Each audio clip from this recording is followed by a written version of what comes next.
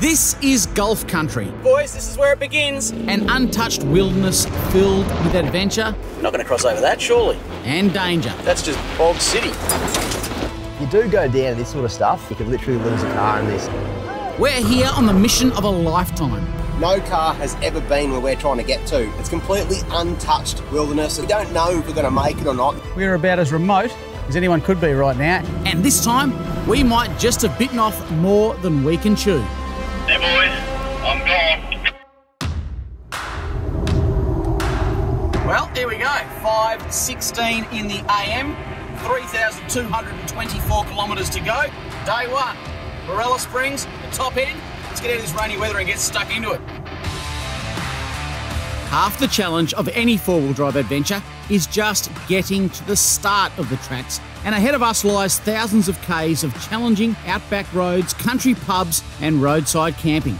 As we journey across the country from Brisbane to the most remote paradise that is Lorella Springs, in the far reaches of the Gulf of Carpentaria.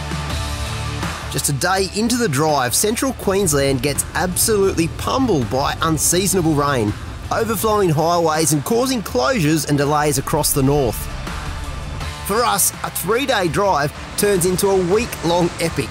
And more importantly, that rain signals that conditions at our destination might be a whole lot more hectic than we bargained for.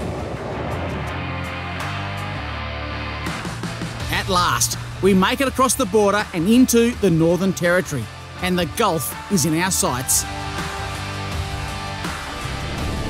Well, seven days of driving, but we're finally here. A million acres of four-wheel drive paradise, one of my favourite places on earth, Lorella Springs.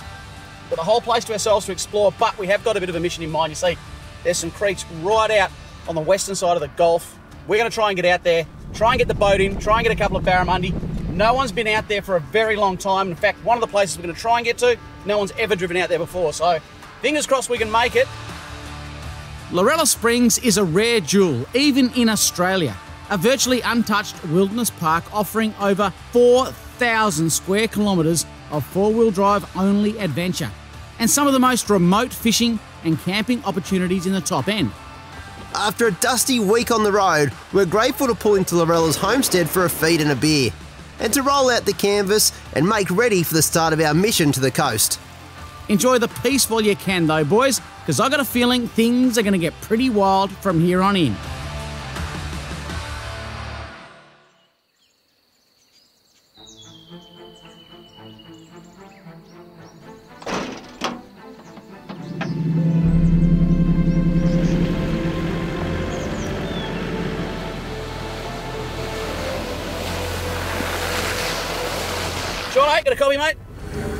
Yeah, sure do, mate.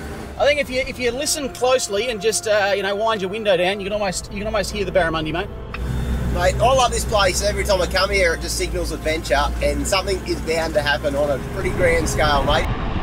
What we've actually got planned for this one is we found on Google Earth a little creek that probably no four-wheel drive's ever been to before. If we can get up to there, there could be some of the best untapped fishing you've ever seen in your life.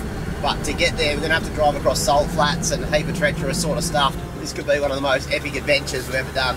Pretty bloody excited.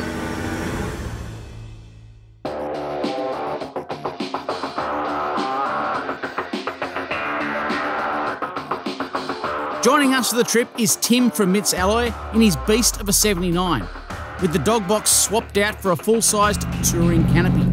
This trip also marks the maiden voyage for another weapon of a rig. That's right, Reuben from DMW Industries has brought along an insane Y62 project, chopped and extended on 37s with a boat in tow to help us get further off the grid. Early season, these tracks haven't been driven that much, so you get these washouts like this. You just got to kind of get up into them and give it a bit of bunty and hope for the best. Like that there. Bit of a wheel lift too. That's fun.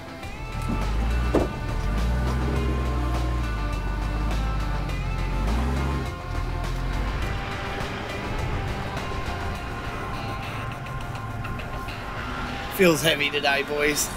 So much water on board, so much fuel for this trip. The Lorella crew maintain a huge network of tracks across the park, but where we're going, we're going to be heading right off the beaten track, with the park owner Rhett giving us special permission to try and push a track to a far flung corner of the property. Pretty soon we're nearing the end of the road, and the creek system we're aiming for is still a heck of a long way off, hidden behind kilometres of salt flats and tidal plains just like this. Once we leave the track, we're going to be guiding ourselves entirely off sat maps and gut feel. And that means adventure of the best kind. Boys, this is where it begins. Oh, yeah, you're not wrong, mate. Tyre tracks are ending just about here. I don't know how. Where do we go from here, mate? Up ahead is the start of a tidal system that we're going to need to cross at some point to get towards the secret spot we're chasing. You're not going to cross over that, surely. That's just Bog City. Should check those tides, see what they're doing too, so I don't get caught out. Interesting. Let's go and have a look. Like I said, from here on, we're really going by feel. But we need to stick to the salt pans as much as possible, and there's a line to follow up ahead. The crossing is looking a bit sketchy, but we're going to give it a go. We're taking no chances here and lowering our tyre pressures right down, treating this as if you would any mud situation and dropping down to around 18 psi.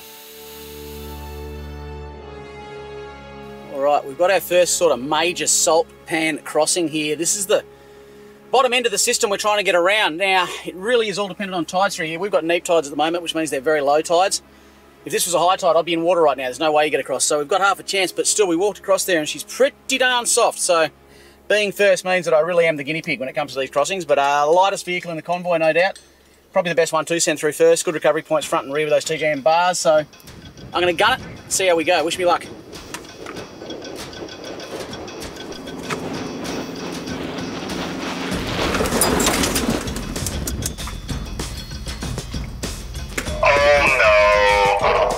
Yeah, bog Daz, beach Daz, boys. That, that's just bottomless. You're not going to cross there, I don't think. Bugger, bugger. Hopefully I'll be able to winch you straight back out. Yeah, I came to a screeching halt. Everything just flew forward in the vehicle.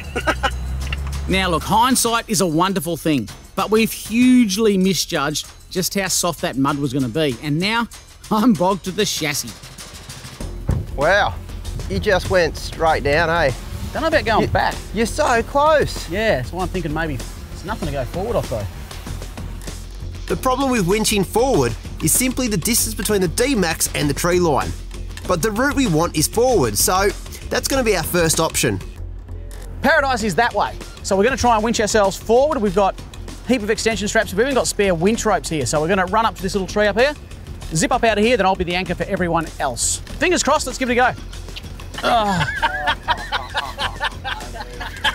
Oh, Oh, good. You can you can run the winch ropes. To make it to the tree line, we're going to need to attach multiple extension straps together. But with plenty of soft shackles on hand, joining them up is not going to be an issue. With the winch angle being low though, we're going to need to clear some of the mud away from the front bar. so I needed a, per- a personal shovel. You'll sort of know what I'm talking about for this trip, and it does that job admirably. However, when it comes to digging mud, it's a slow game. Right, that should about do it. Now we've put two extension straps as well as almost a full winch rope, so that's the closest tree. If you're right in the middle of the salt pan, there's no chance you'd be you'd be doing any winching forward. But we just want to give this a go because if he makes it forward, at least we've got an anchor vehicle out this way. Far out. It's going to be a big winch either way. To help things along, we're also chucking in a couple of MAXTRAX under the front tyres to see if we can break that suction.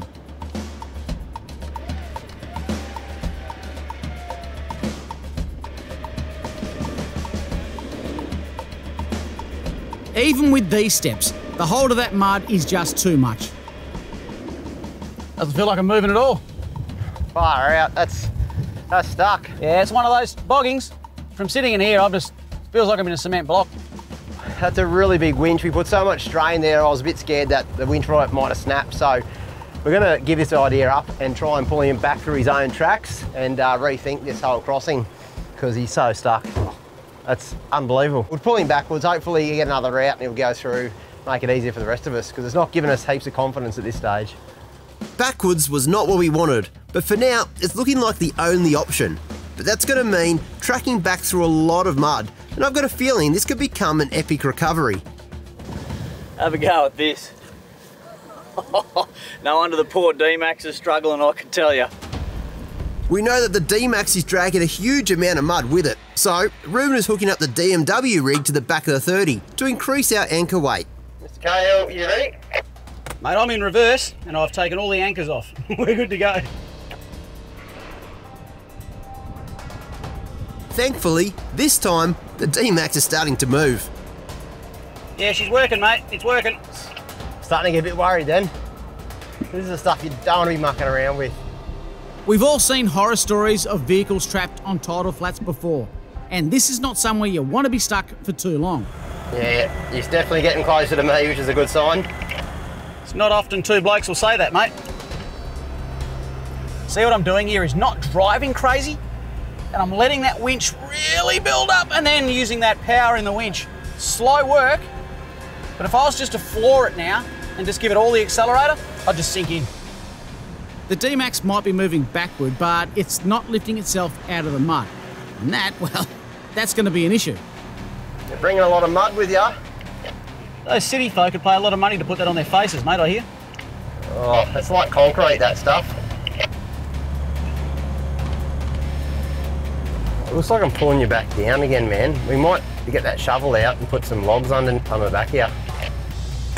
You can see here the rear bar and all the boxes and everything are filling up with mud now too. I reckon he's, he's still going down. He's got probably another five or six metres before he's going to start to pop back up. But we'll get there. Breaking the suction of the mud is always the biggest challenge in these situations, and the mud wall behind just gets bigger the further you drag through it. And just look at that rear bar. We're a long way from out on this one. It's just bottomless, this stuff. And it's just this, like, once you break this surface, it's absolute, this looks like concrete, this stuff, just wild. So we're gonna get another winch, Tim's gonna come through, and we're gonna use another winch. Hopefully we can break that suction. As soon as he pops up, he'll be right, but he's just pulling through this at the moment, which is hard work. Let's see how we go with two Runvas on the job.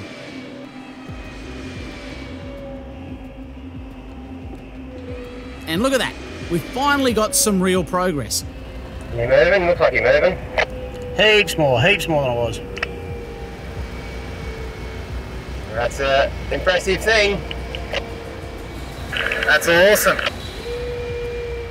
Crazy how much force is in that mud. It just, you can't fathom it until you've been stuck in it. Two winches and I'm just moving. It's a fair old pull, bud. Couple of workhorses in the team, mate. Just get the job done. Slaying barrow one minute, heroes are next. Oh, I can see in my rear view mission there's a couple of flogs sitting in cars using winches. Is that what is that what you're talking about? You break it up, big fella. You break it up. You ready for another go? Hey Graham, what about the Nissan that's uh, holding both Toyotas back? That sounds about right. Nissan's always holding Toyotas back from greatness. I've moved almost 10 metres from where I initially went down, but the mud just won't let up, and now the front is going down hard.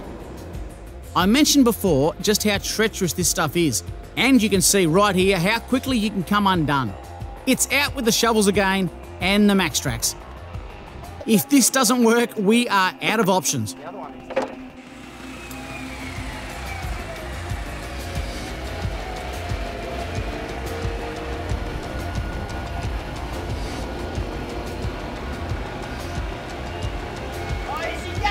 It comes.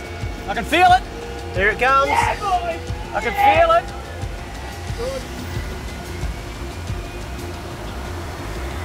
Good. And it's done.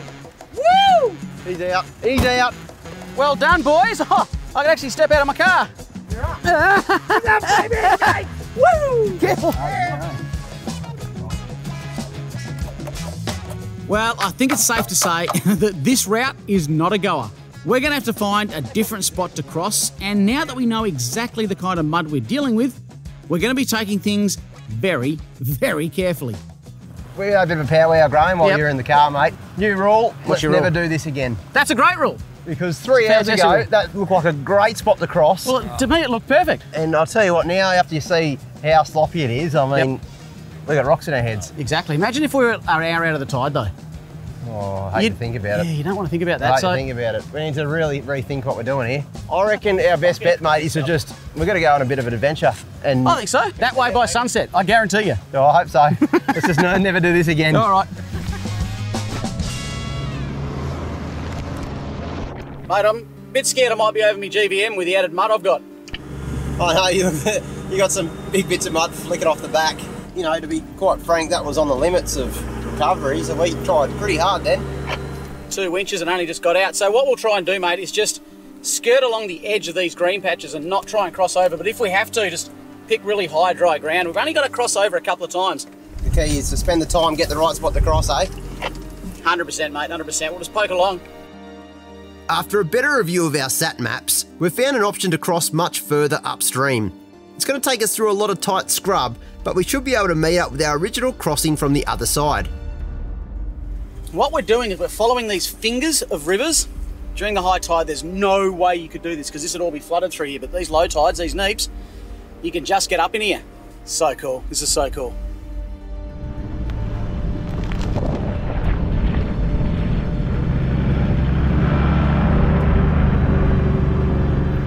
The fingers of salt flats we're following don't always connect to each other, but we're looking for the shortest possible sections of bush to link them up.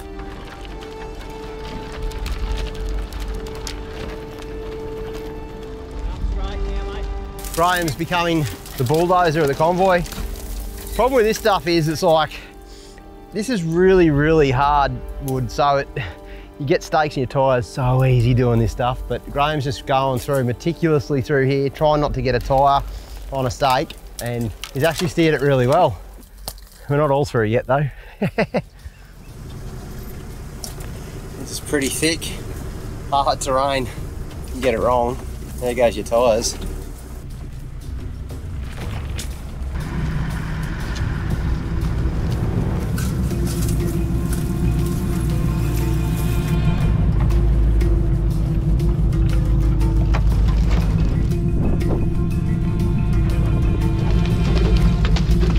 After a bit of bush bashing through the scrub, we've made it to the next salt pan, and the aim is just to hug the sides as much as possible.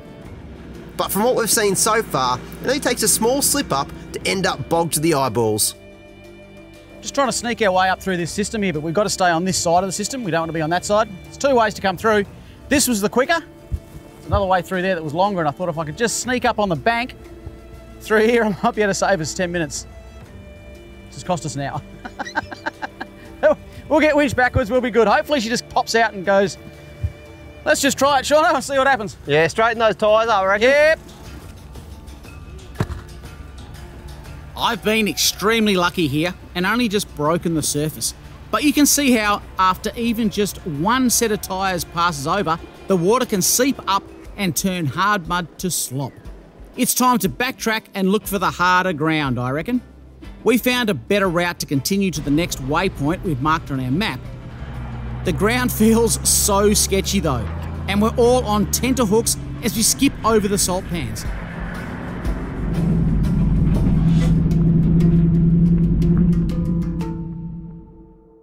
This is pretty amazing. We're at a defining moment of the trip because the river started to become very salty. It's quite deep now.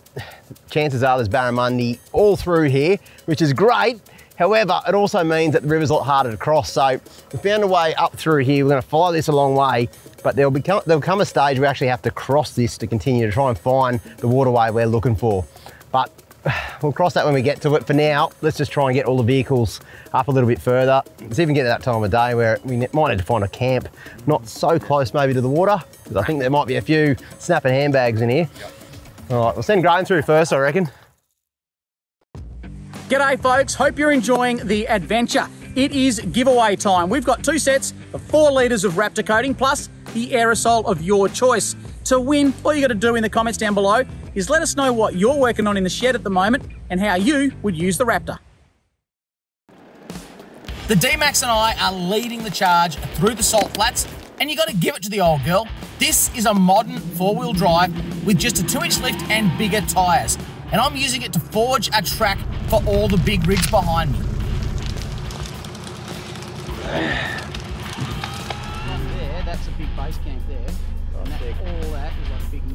We're just using the drone at the moment to try and find best way through this thick stuff. We've got Shuey sitting next to me, he's one of our cameramen, and he's kind of giving me lefts and rights as best he can. I can see where we potentially want to camp tonight.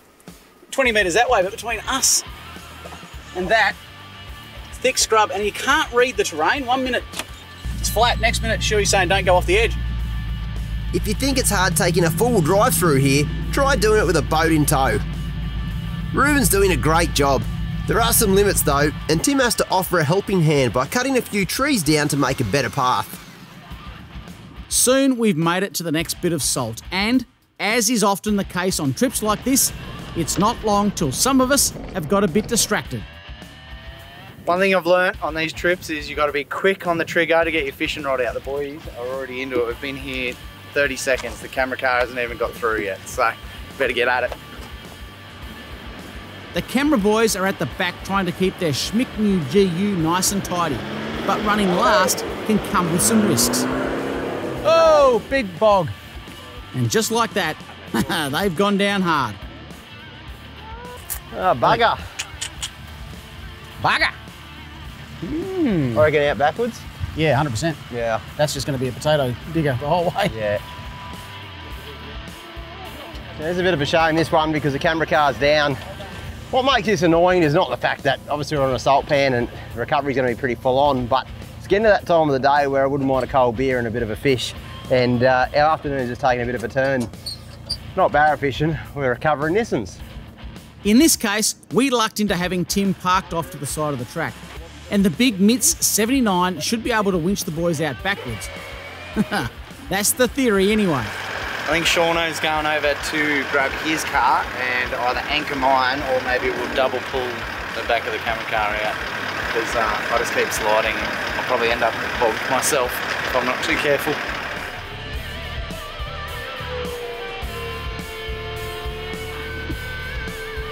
The double anchor seems to be the go, and slowly but surely, the camera car is coming free. I reckon we can say that the new camera car is now officially in full drive 24 7 service. Definitely coming up. Yeah, definitely. Here it comes. Wow, Well done. that's insane. Every time we go down, it's been a proper recovery. Yeah, I reckon we should be looking at the next salt flat for camping. This one looks a bit used. Have a go at this. You, you break through this crust, which is nothing more than an inch or so of topsoil, sort of like a salty sand. Once you break through that, you can go down. That's half a metre deep there. It's just phenomenal. And then when you're in there, the suction that this mud has. I think this has taught us today that we've got to be a little bit careful moving on from here because as we move on, we're going away from the drier start of the system into the sort of wetter end of the system, if that makes sense. And so we're going to come across this a heck of a lot more. Up ahead is the pin we've been aiming for all day. It's a likely looking crossing spot that Rhett shared with us back at the homestead. And better yet, it looks like it'll make for a perfect campsite. And that's the best thing about exploring off the beaten track. We could literally be the first people to have ever camped here. yeah, that's pretty special.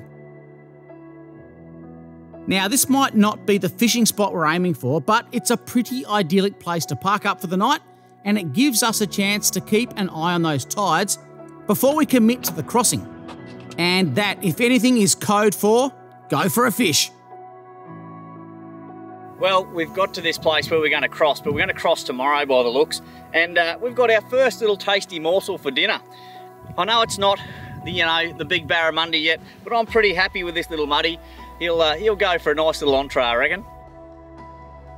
Like all good anglers, though, it's important to have an excuse lined up when required. We're just a little bit too far west at the moment. It'd be good to make our way a little bit further out where the water gets a bit deeper. It's only about a foot deep through here. There are fish in here, but I think I think we need to keep going, mate. This was not a bad day one, if you ask me. Nah, not at all.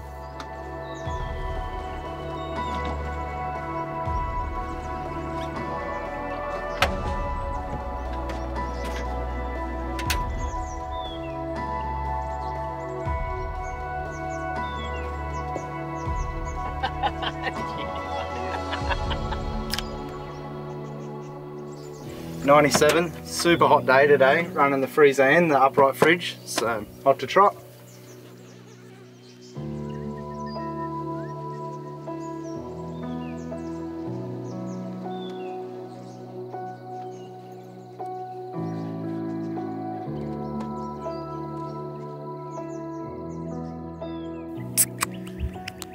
Holy heck, we are about as remote as anyone could be right now, and have a look at it.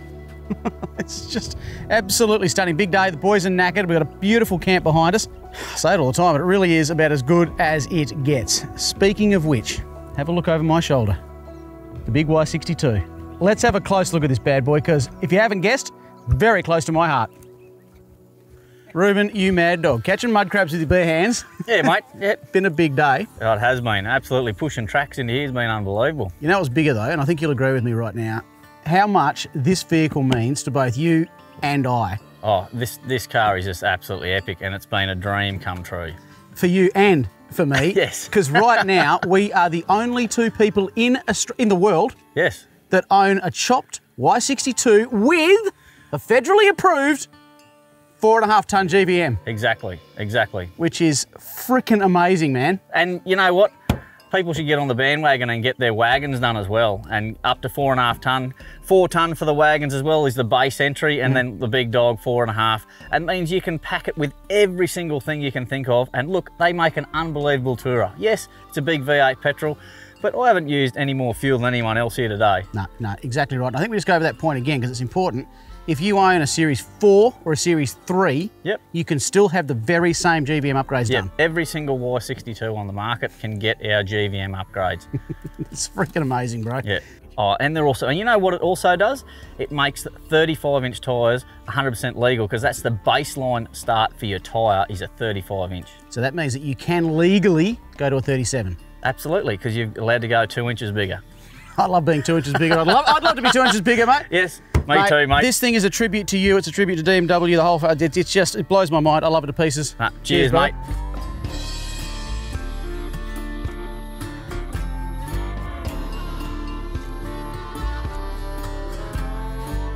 There's nothing quite like a Gulf country sunset with a roaring fire and a few beers, and the scorching heat gives way to the cool of the evening.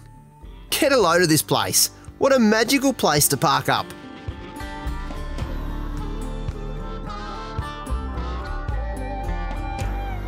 I'll tell you what, today, we've made it this far. Well, we're within spitting distance. Like if you got a big lurgy and spat it, you'd almost hit the coast, mate. She is just over there. Not that far, but what concerns me a little bit, we've got to get through this crossing and whatever else lays past it. If we could get another, even like three or four Ks, we are That'll us. in some of the best fishing country in Australia, full stop. It's the stuff dreams are made of. It really is, it really is. We've got a, we've got a Barra Virginia mi- miss as well, so. Yes. And, Sitting um, over there. Look, he's even holding his rod ready. Yeah, it right? Just in case one comes in, comes walking into camp, he can cast at it. This camp is pretty special. It is. The only thing that can make it just a fraction better Yeah. is if I put the old chefry hat on and uh. I gave a few utensils a ruffle up and uh, get a dinner sorted. You So- are not a chef. I am a chef. you just hold on to your beers, boys. Maybe even get another one. yeah, we're not gonna need it. We're gonna need it. I'm gonna get into it. It's gonna be it's gonna be all time tonight.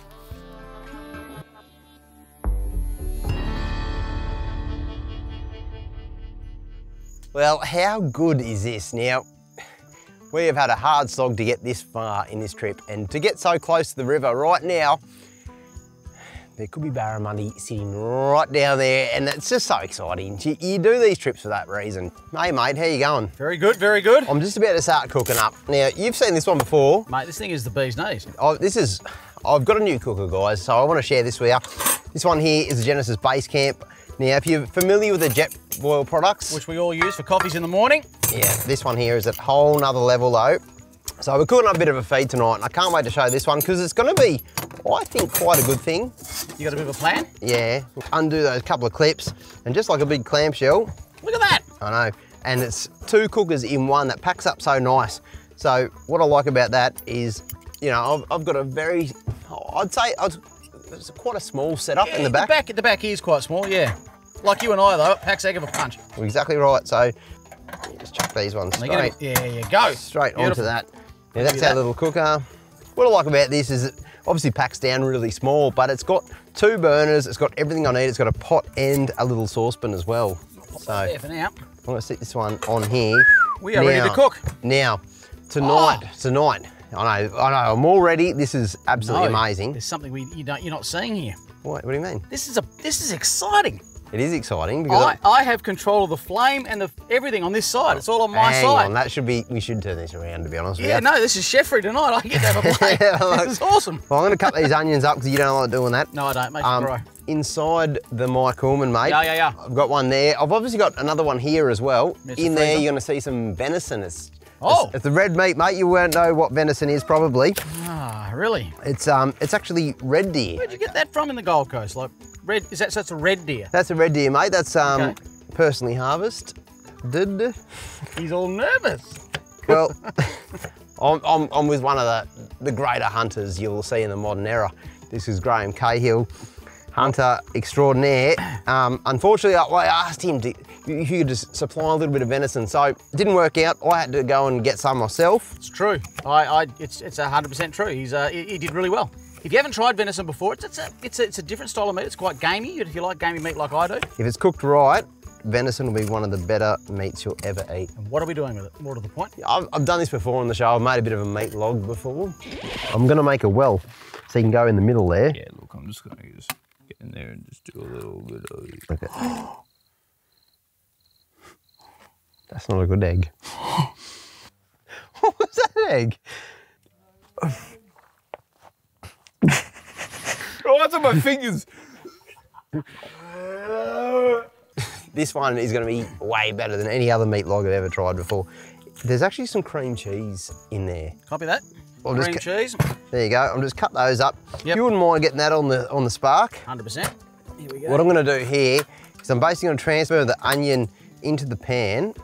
Transfer the onion into the pan. That's how we say that in the chefry Oh, school. yeah. Do you want some Uh, oil in there, or are you going to do it? Yeah, a little bit, of, little, Yeah, little bit of you oil. don't want to go in dry. Well, these are non-thick pans as well. You hardly need much. If you can get a bit, few mushrooms in there as well, mate, on the on the on the boil.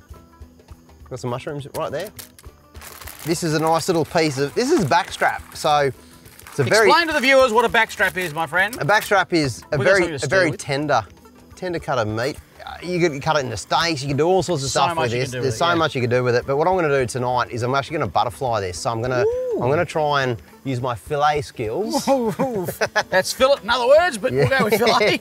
just to try and cut that open because we're going to basically pack the inside of the venison with a heap of yummies. Wowzers. We're going to wrap it. We're going to do some really cool stuff, and it's going to mm. taste really, really How many good. people on this river system do you think have eaten red deer, uh, filet mignon type style? Probably not a heap. Wouldn't I'd be say. too many, I wouldn't think. What does that look like, Graham? Oh, to me, Yeah, oh, looks like a really well filleted piece of backstrap. I was thinking that because it's But getting. I tell you what, if we stay out in the bush too much longer, you know what I like about this gadget? Infinite heat settings. I can, You can. you can really choose your heat setting on this bad boy. There you go. That sort of that sort of Oh splayed yeah, we're open. in the middle there. Yeah, yeah. Right, so a little bit of cream cheese. Yeah, this is the light cream cheese, mate. I'm just uh, thinking of everyone in the convoy. Jump on the bus. We're heading to Gainestown. so what's the plan? Are you going to spread that across the? Uh, the entirety of the middle section of the backstrap. right. So butterfly the backstrap out. Now you can do this with most meats, yeah, to be honest. let's let's go there. What could you do this with? Oh, any any any meat you can get like this, like a, a big flank steak Yeah, or something yeah. like that. This this will actually melt down when we start cooking, so there's no need to make it look too pretty at this stage. Because you're not. It's really not. It's not as. You know what? It was going to look better in my mind. I'm going to give you that, chef. That's going straight in, mate. Just just spoon her in straight in the middle Okay. I get that job, do I? Righto. In in the microwave, I actually have some bacon, believe it or not. Ah, look out. Now, what I'm going to do here is I'm just going to try and roll that straight in, like Is so. that under your 16 bars of chocolate? There's some health snacks in there. There's- you need to get past This to get through. This bloke. We're just going to go just some salt across the top of that, like that. A little bit of paprika, Ooh. garlic salt, and uh, parsley. Parsley. Obviously, Ah, that's the stuff that gets stuck in your teeth when you go to a job interview. now this is going to be. Oh, careful, your guts are coming out. Oh no, you got to be careful here. We're basically going to. Yeah, go. I'm going to make a, You do you. a little uh, Carpet of bacon. of goodness here. Oh, that's a slippery looking meatloaf, that is. It really is. Now I've actually taken the liberty. I should have. I, I really should have got some skewers, maybe from the Skewers might have been a bit more. But we're so far from the supermarket right now. That It's going It's to going be. to be tricky. Let me hold your meat for you. If I could. Do you reckon yeah, we need more? Oh, no, more, I see more bacon. No, more no, no, more no. bacon. No, no, no. That's exactly what we need to do. Put a piece of old dried mango wood. Like that. That's it. straight through. Now you can do this two different ways. I'm planning to do it on here. I'm going to sear it because what you want to do is you want to make sure that the venison is still extremely rare 100%. when you cook it up. Yep. So, like I said before, honestly, if you had some proper skewers, Skewers. maybe, you keep it together really tight. But you know what? That's, Whack her in there, that- mate. that's working. Whack her in there. Be gentle now. Yes. Just fits in Now beautifully. that'll all tighten up as it gets hotter. It will do. And while that one's going on, I'm going to make a second little one because we can. We've got just enough. Do you want me to go and cut some sticks? Yeah, you might need to go get some sticks.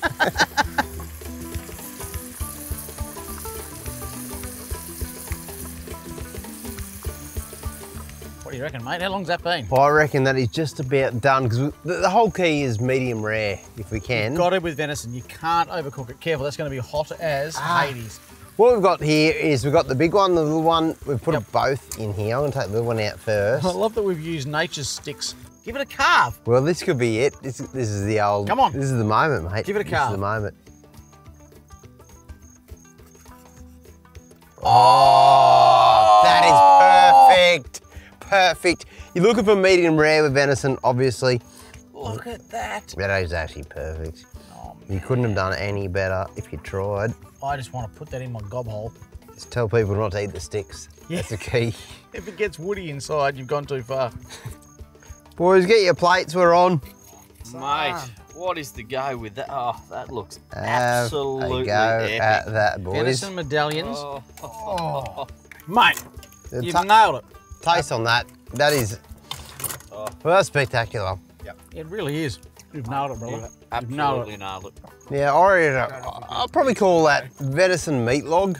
Venison log, yeah. Venison log. Mm. All right, let's go sit by the fire, boys. Hmm. We might be coming back for seconds pretty soon. I was going to say, you're up. Doesn't take you much, does it?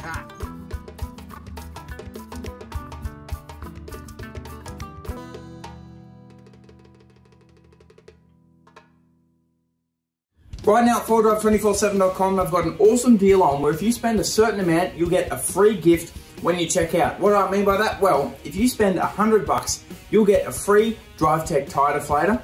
Spend 200 bucks and you'll get a Drifta stock from Dunny Shovel or a Drifta LED torch and fan. Spend 400 bucks and you'll get a Snatch Camo hoodie or spend a thousand bucks and you'll get a free DriveTech air compressor. So, if you've got some stuff you need to get for your four drive and you to get a little something extra for it as well, make sure you jump on it quick and don't miss out on this awesome deal at 4drive247.com. Get yourself a free gift when you check out.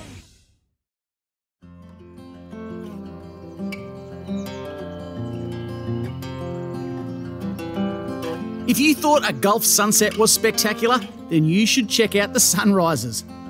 Ahead of us stretches several kilometres of coastal sandflats and boggy ground.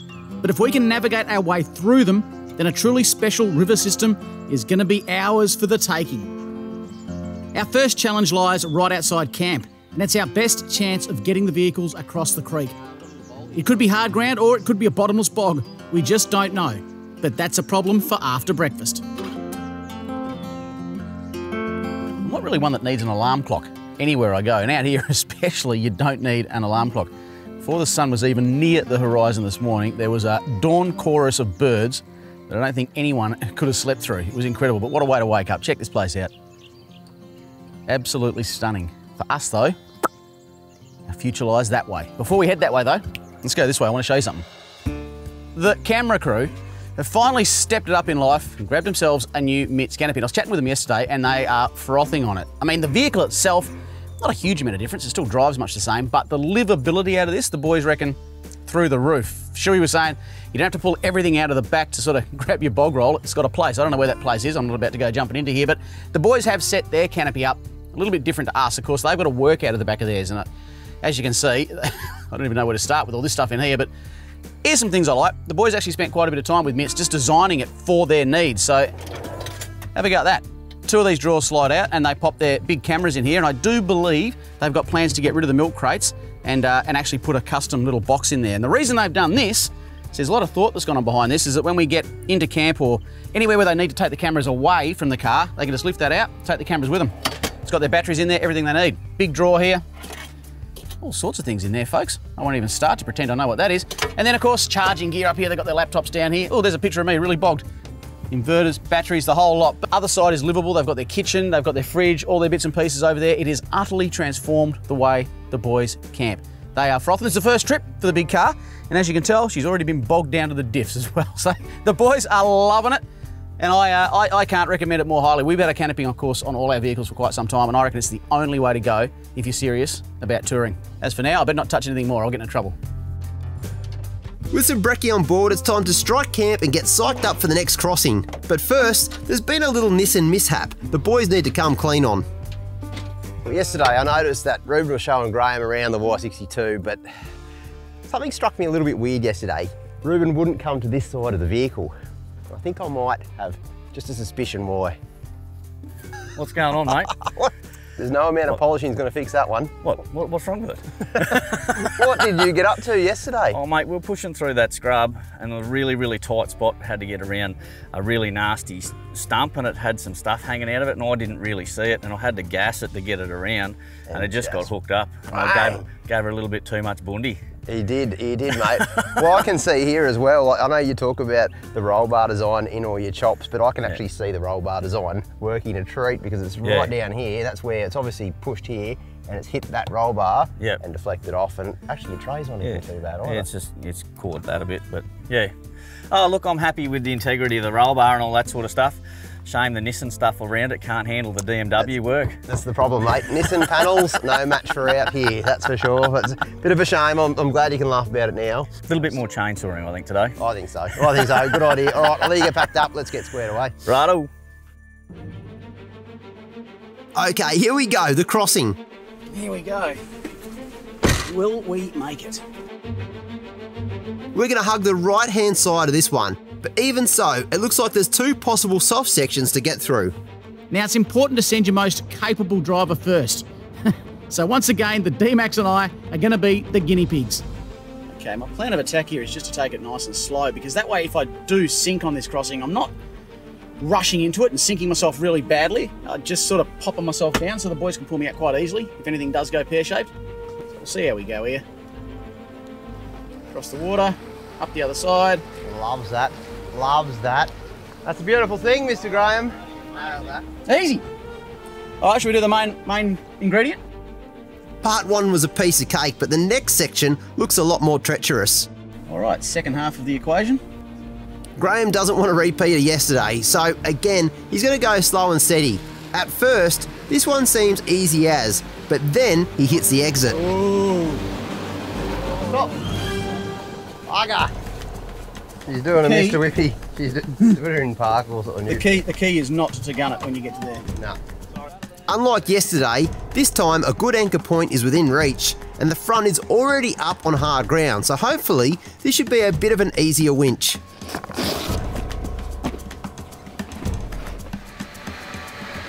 Come on, here it comes. It's digging a trench though. It's not out of the woods yet. Come on, up you come.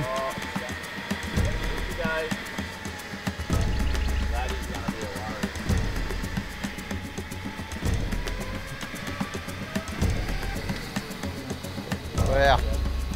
Got the big cheese wheel. Look at that. Okay, time for the big 30 to give it a crack. And I got a feeling Shaun will be using a different strategy to me. Okay, looking forward to this one. I'm gonna I'm gonna give it a red hot drive. Graham went for the slow and steady approach. I'm gonna go for second gear and feed it and see see how that goes. Now, this could be touch and go, or nah, smooth as a whistle. That's the key. I'd straddle his line now. I'm nervous.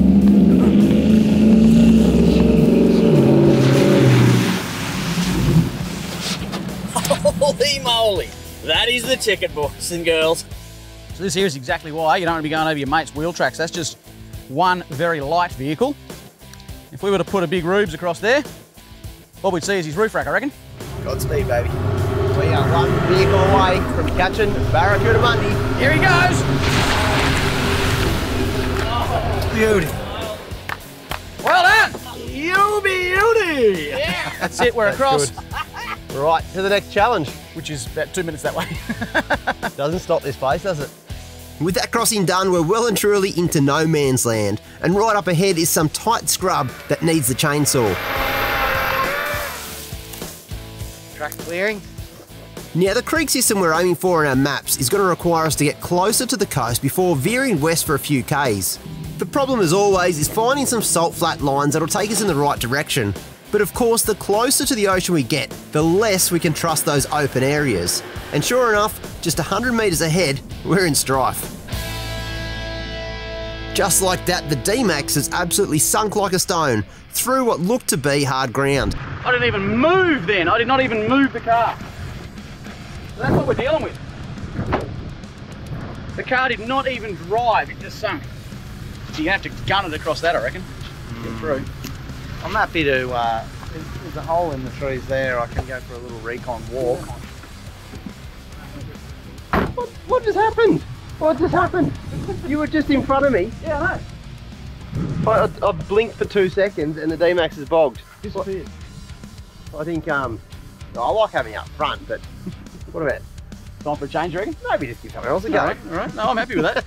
but whilst we decide that, do you reckon you could uh, help out a mate? It's clear now that what Graham has hit is the line of a hidden watercourse. It cuts through this entire flat, and it's going to wreak havoc if we try and push forward through it. A line through the bush is going to be the go, but first, we're going to get Graham out of trouble. Okay, let's see what happens, mate. All right. Definitely moving, but I'm not having any upward movement. As has so often been the case on this trip, once you're in the mud, getting the vehicle back out is a mission, and the D-Max is just digging itself in. Wow, this place is just so wild. In theory, once Graham hits the edge of this watercourse, he should lift out. But after 10 metres, it's not looking good. Yep, this is uh, another one of them, them ones. She's pretty bogged. I don't know what to think because we can keep pulling him, but he's just pulling the earth with him. It's a very big winch. I've I just thought about oh, just something that came through my head, boys. If we just leave him here, Yep. we could go and get some barramundi at the coast there. You could be like a base camp. Come back for him. We'll bring you Oh, in a couple of days or something. so, Yeah. You got plenty of water, don't you? Leave me some water. well, going backwards is probably not an option. Uh, so we're going to try and winch forward, but on an angle out of this watercourse that you can see I'm in here. So there's a couple of big trees down here. If I can get out of those ruts, we might be in with a chance.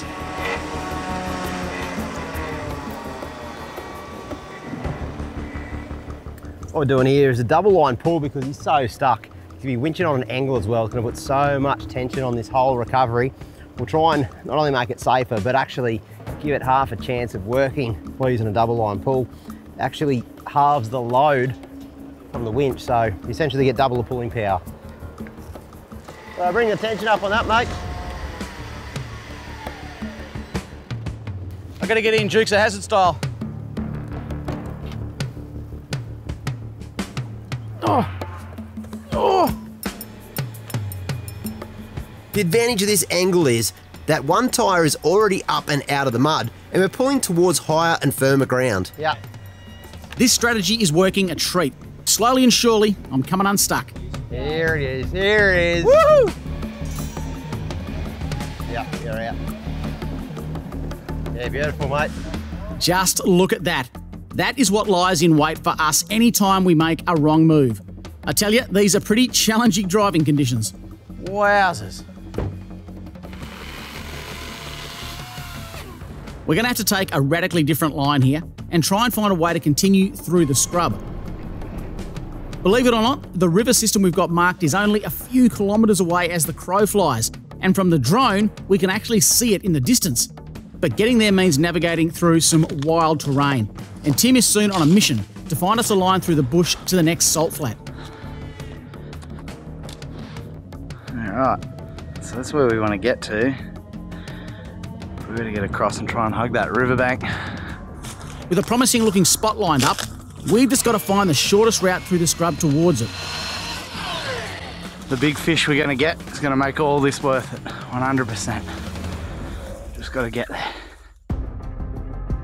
Tim soon got a route sussed on the GPS and is engaging dozer mode up front in the 79. And with conditions as tight as this, you'd almost think we were back on the Umbulgari track. The big dozer's back at work.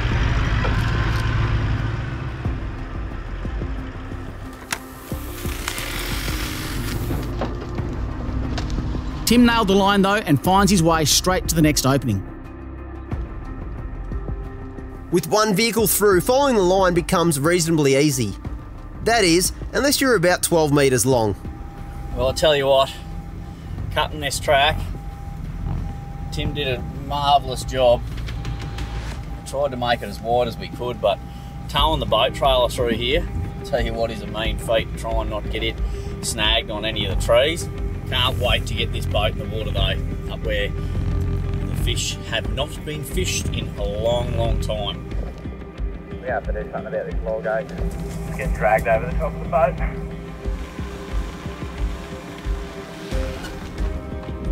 Oh, that's a big old man. Wild stuff. We just had to trim a tree and then we fell it and the as we were doing it the wasps come out so we didn't get to fall the right way. It landed half on the boat. There's a paper wasp nest like that big inside it. It's taken a bit of manoeuvring, but the big 62 is through and we're on to the next challenge. Shaun's taking a turn up front for a bit, and now he gets to be the crash test dummy on these treacherous flats.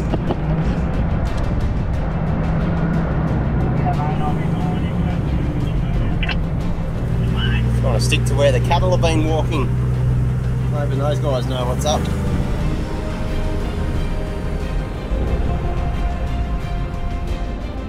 From the drone's perspective, we've seen a promising line to follow pushing west. Can you just run us a cheney up here, Timbo? But I got a feeling this won't be the last time the chainsaw comes out.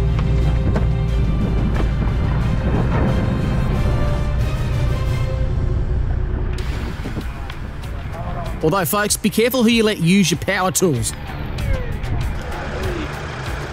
One job. I'll get onto that one, eh? What are you going to say for yourself, mate? Sorry, boys. Sorry about that. Yeah. Lucky for us, Tim and Reuben have learned by now to pack spares, and the way ahead is soon clear.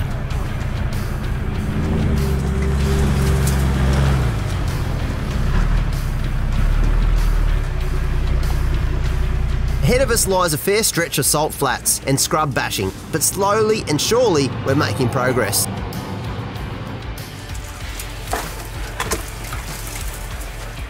Sort of get about 100 metres every time we need to get the chainsaw rev. It's pretty good going, really.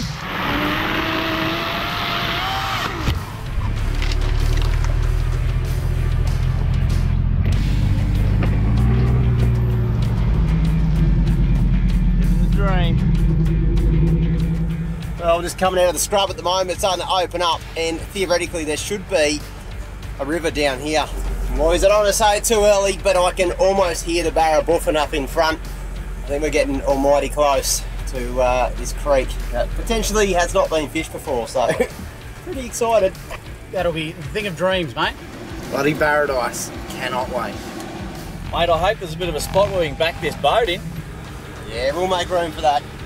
I'll bring on the barra. Yeah, it's nice and dry so far. No, don't say that. No. Yeah, hopefully that's not famous last words. Right up in front are some huge salt pans that lead directly onto our river. We're so close to our destination now, but not quite out of the woods yet. Hey boys, I'm gone. Despite hugging the higher ground on the edge of the bush, it only takes a couple of tyre passes to break through that topsoil, and Reuben has sunk right down. This could be an almighty recovery. We are so close, Reuben. I know. So close to greatness, but I have a feeling as we inch literally metres closer, you're going to get more and more terrain like this because it's this is floods. This floods during a high tide. Well, you've had your fair share of this. I mean, it's about time the big girl went down. You did the right thing though. You've stopped before she went down, so I'm stoked with that. This will be a short winch up onto here. And then if we can just hug this edge all the way through, there's a campsite down here, and what I've done is there's, a, there's an old bathtub that washed up many years ago. I've just filled it up with ice and cold beers. I've made sure the swimming hole's clean. Oh, that's So as soon as we're out of here, I've done none of the above, boys. She's going to be hot out there, but we'll be right. We'll be right. Let's get you out of here first, mate. Righto, mate. Righto. A double line pull worked for us before, and so that's what we're going to do again. This is where you want to put your recovery blanket as well. Straight over the top of this. A little drive.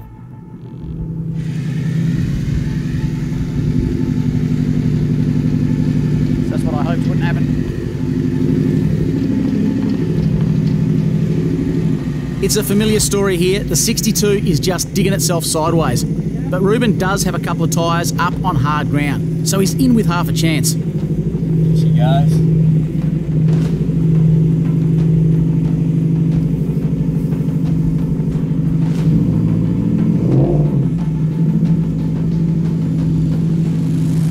A lot of, lot of force in there. There's a lot going on.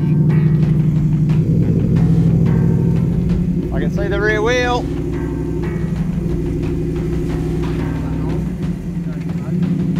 Boat's gone down. Look at that. Look at the boat go down. Yeah. Boat's just sinking under its own weight. He's taking it through the same wheel track. The trailer is literally a land anchor right now and just dragging so much mud with it. Boat's well The in. boat's in the same you were in. If you go like another metre, that boat might be out. All right.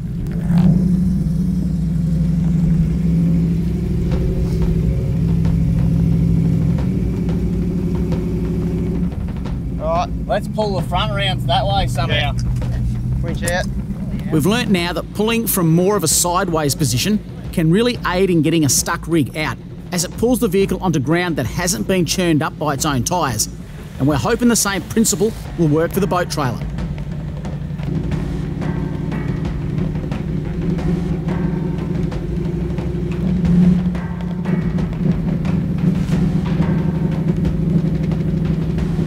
Here she comes.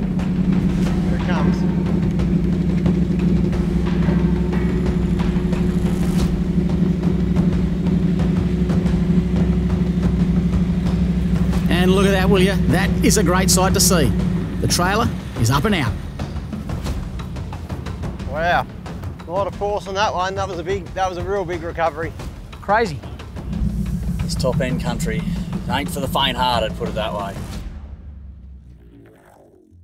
It's been an incredible journey so far to make it to the system we've been chasing, but our hard work is surely about to pay off. Oh, boys, we must be getting super close now. What's your GPS say, eh, Graham?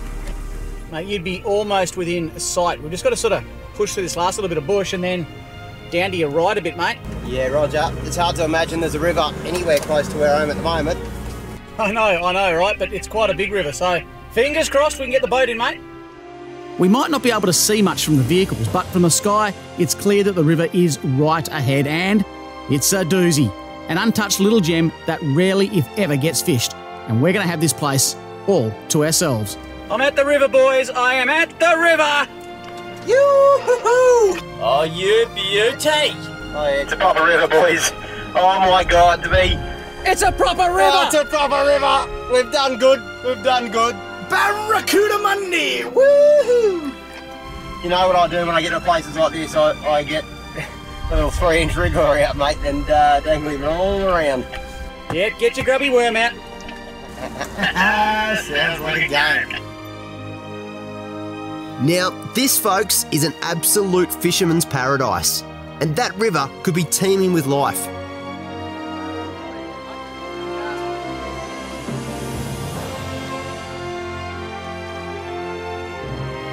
It's a privilege to four wheel drive anywhere in this amazing country, but a mission like this makes it truly special. For now, though, we've got one thing on our minds. Well, we've made it to one of the most remote sections of river you could ever hope to see. Everyone's got a line in the water. I won't say it's competitive, but damn, it's competitive. It doesn't take long for our first hookup. You gotta remember, of course, that we're still in the shallow reaches of the system. If we can get the boat in, we're gonna be able to head up to some much deeper water. But even off the bank, the rewards are starting to come in. Oh yes! My first one ever! Reuben has officially popped his Barra Cherry with a decent sized fish. My first ever barra. Gonna get the boat in tomorrow, so I just can't imagine what we're gonna catch. This has been an absolutely epic trip. It's been so hard to get here. I've been bogged, we've had to chop tracks in, but to catch fish like this, for me, is just absolutely the best thing ever, and it's an absolute pipe dream to actually be living it and doing it. There's nothing quite like fresh barra. And this one, well, this is about as fresh as they come. What we're doing is we've got no eskies or no ice out here, so second we get these fish, bleed them, dispatch them pretty quick, and um, just rip the fillets off. Get them, get some of these Ziploc bags, and you put the fillets in there, just with the skin on, doesn't doesn't bother me, and then they can go straight into the. You get rid of all the head and all that sort of stuff that takes up a lot of room, and um, get a few of these. We want our, ourselves a few ingredients.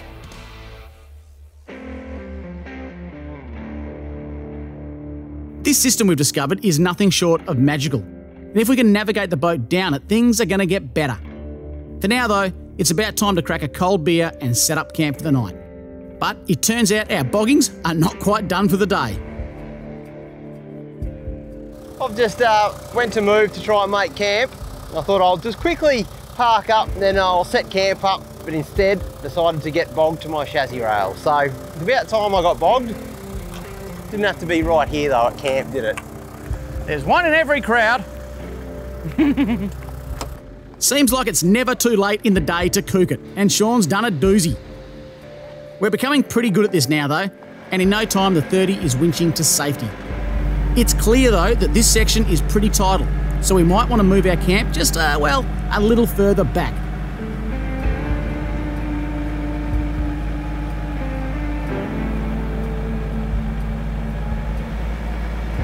Feels better now.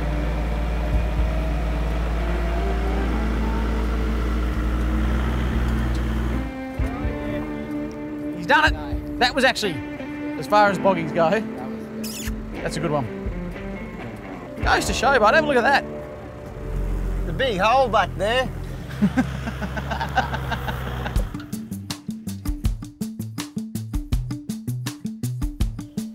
I reckon that's about enough excitement for one day, and it's well past time to roll out the canvas and make camp for the night.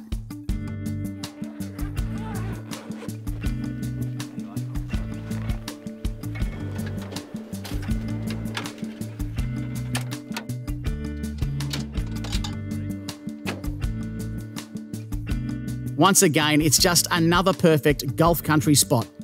And tomorrow, we're going to be trying to make it out to this a pristine waterway just begging for us to wet a line.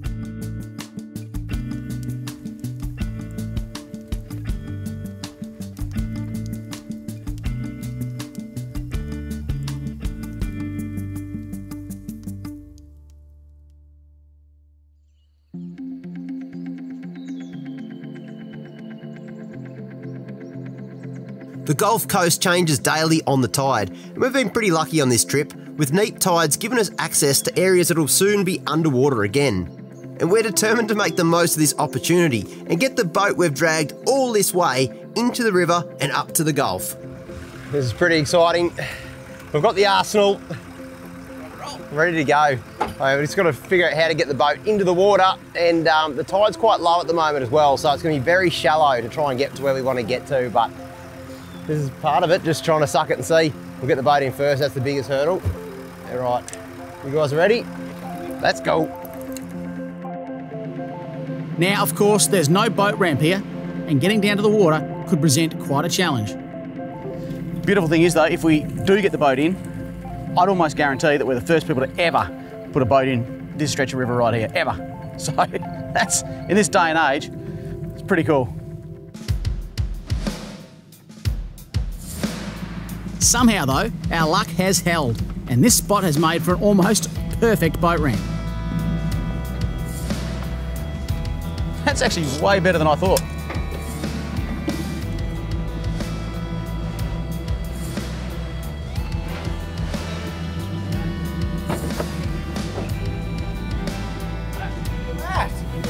Boat is in the water.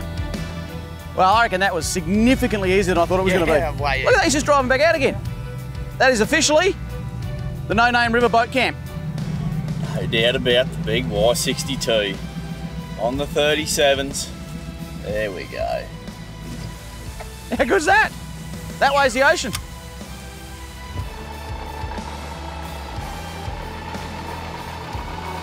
It's been 10 days since we left Brisbane with this exact destination in mind, and at last, we're on the water. The neap tides might have helped us get out here, but also make for some shallow water channels, and getting the boat through isn't exactly easy. But there's no way we're giving up now.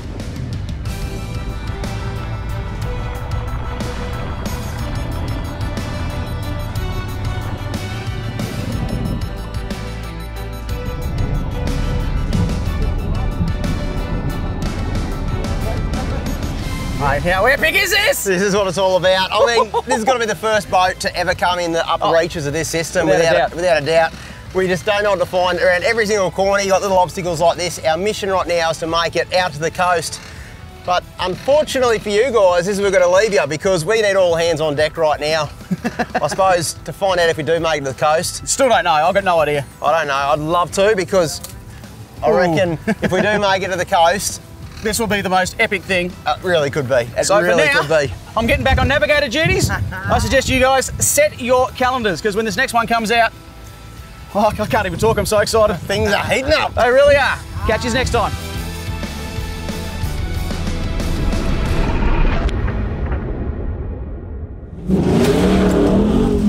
Next time on Four Wheel Drive 24 7. We push on to experience some of Australia's most remote fishing. I got another one. Yeah. We've still got 60 k's to go out to the coast through some pretty rough roads. Not to put any pressure on roofs down there. Got to be a pretty darn good weld.